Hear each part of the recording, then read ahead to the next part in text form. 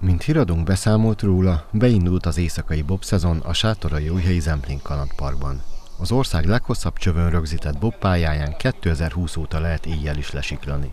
A kalandpark igazgatóját Tóth Csabát kérdeztük a 2022 pünkösdi hosszú vége éjjeli bob tapasztalatairól. Mi valóban belesuhantunk az éjszakában itt az elmúlt három éjszaka során, ugyanis közel 1500-an látogattak el hozzánk ezen három éjszaka alatt.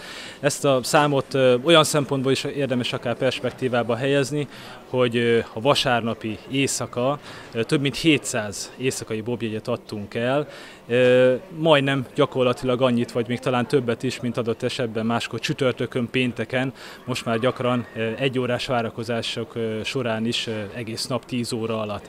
Úgyhogy nagyon-nagyon jól sikerült, ezúton is ismételten gratulálok a kollégáknak, akiknek a kreativitása és a munkavégzése nélkül ez nem valósulhatott meg. A jegypénztárak ugyan fél órával évfél előtt zártak, azonban az addig megvett jegyekkel még órákig csúszkáltak a vendégek, akik nagyon élvezték az új fényelhelyezéseket. Egy másik számot talán érdemes még tudnunk, vasárnap hajnali háromig voltak kint a kollégák, és hajnali kettőkor még sorok álltak itt.